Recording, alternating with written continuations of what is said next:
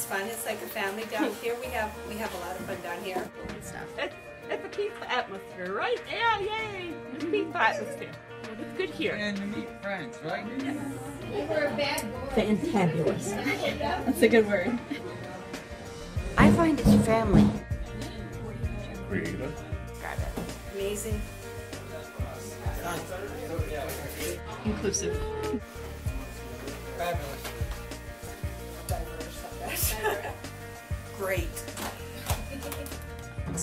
Freedom.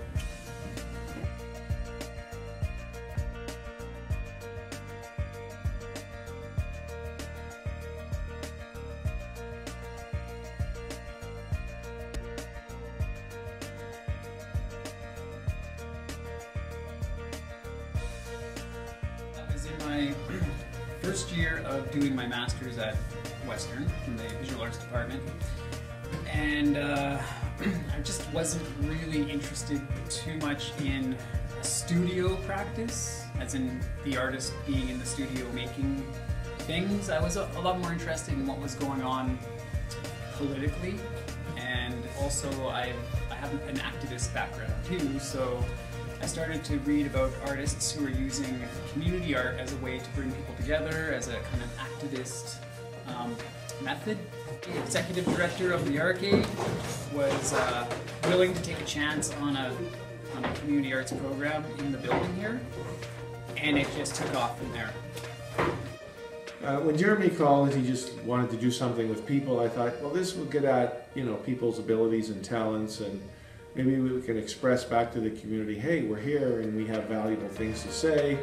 We do have talents. We can contribute, and uh, you know, let's uh, come down and see what uh, you can do. I mean, it wasn't. How long have I been doing here? Oh, about two months. Two months. Since 2011. And I started August the 20th. It's pretty much the inception. Like, since we were upstairs in the fireside room, painting on the pool table covered on covered with a tarp. Two years. I've been here ever since it started.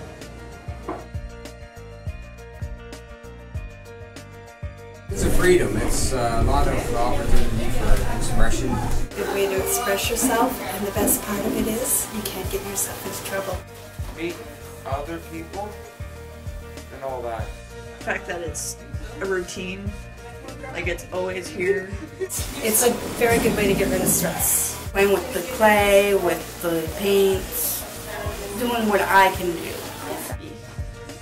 Well, it's therapeutic for me. And memories.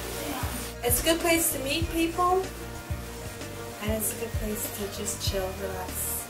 Then you're given, you know, gives you an opportunity to come out and do art, to socialize. I love art. It gives me it keeps me out of trouble and gives me something to do. It's constructive to being destructive. Many, many people have said that this is a very therapeutic thing. It helps them work through issues, it helps them work through emotions, or work through feelings, or work through situations in their life that are sometimes just out of their control. So they, they know they, they can come to a creative, safe space and get support and explore their creativity and, you know, just just mess around with materials. People make new friends and you stay out of trouble and do something with my hands. Turn like negative thoughts and emotions into something positive. Calm down my anger.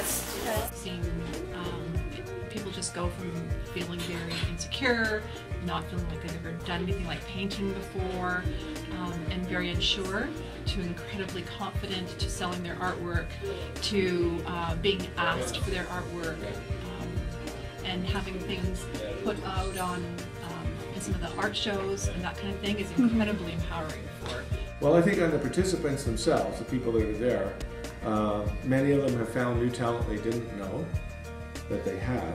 There's the joy of creativity and expression, even if it's just for yourself. That uh, you know, I, I did that. I can express myself in a new way. Of course, with the shows and sales that we've had, people actually get some income. So to me, that's a huge thing if somebody comes in and gives somebody who's on welfare uh, and say, I like your work, here's fifty dollars, that, that, that fifty dollars is, is valuable in itself. And what it says to somebody, you know, their self-esteem and stuff, that's even worth more. I feel like I'm part of something. More for uh, self-expression than anything else. Well, if you didn't have the supplies, you wouldn't be able to do any of the fine work that people do and express their feelings. Because everything down here is donated. Uh, but we need more canvases, paints, paintbrushes, some art supplies. New School is, is, is flourishing and many of the artists are flourishing.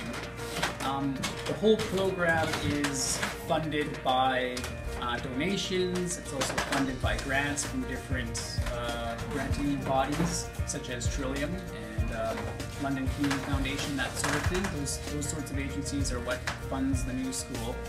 So quite often we are asking community members for um, art supplies as donations uh, because they are pretty expensive and a lot of people utilize them and, and it's what you know what keeps us going. So if uh, if we could get anything from from donations on that kind of uh, you know deal, then definitely paint and clay, paintbrushes, canvas, all that type of stuff would be greatly, greatly appreciated and utilized.